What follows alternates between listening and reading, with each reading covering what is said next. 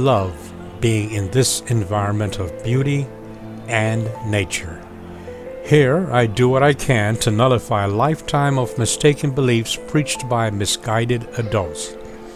I see for myself, I think for myself, I create my own belief system, and I take the liberty of rambling about life and living. Today, I see beauty. It is times like this that I contemplate what I call my microdacism. Today I'm thinking about microdacism rule number three. Develop friendships in a sincere and personal way, but never forget that to others, that is, to some others, you're merely an asset or a liability. The friendship may well be based on their needs and not yours. Lower your expectation of others and you will not be disappointed. It's cultural.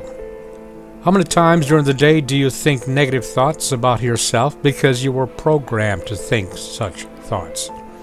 It's cultural. How often do you change your looks to please others? It's cultural. Are you happy with being you? Why not? Why not? Because it's cultural. It is cultural, and until you recognize that, it'll never change. You're brought up to believe that some people are servants, slaves, and then we have the masters. This slave master relationship is a daily occurrence. I walk my street and I pick up the trash in front of my house. I do it because I want to do it. I should not have to do it. But then, some drivers are brought up to throw trash out of their car windows as they drive through my neighborhood. It's their culture to litter. One has a tendency to judge another by simply hearing the name of the other. It's cultural. The person with many college degrees who cannot converse in the English language is not respected, no matter how many degrees he or she may have. In the corporate environment, they are hired, it's the law, but there are always ways to get around people like that for the sake of functionality. Don't know what I'm talking about, do you? Well, it's cultural. Lots of so called advice will go through your mind, but all are useless until you claim these gems as your own. You've heard them all before. Know yourself, be true to yourself, recognize regrets, but since you cannot erase them, move on.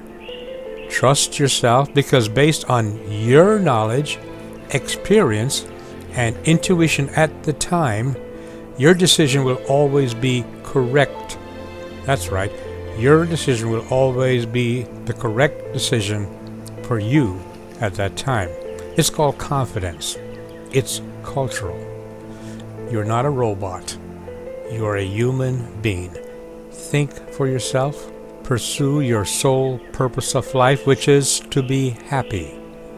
Not sometime in the future or in the hereafter, but today. Be happy today. Right here, right now.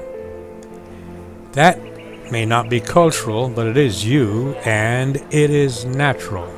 Think for yourself.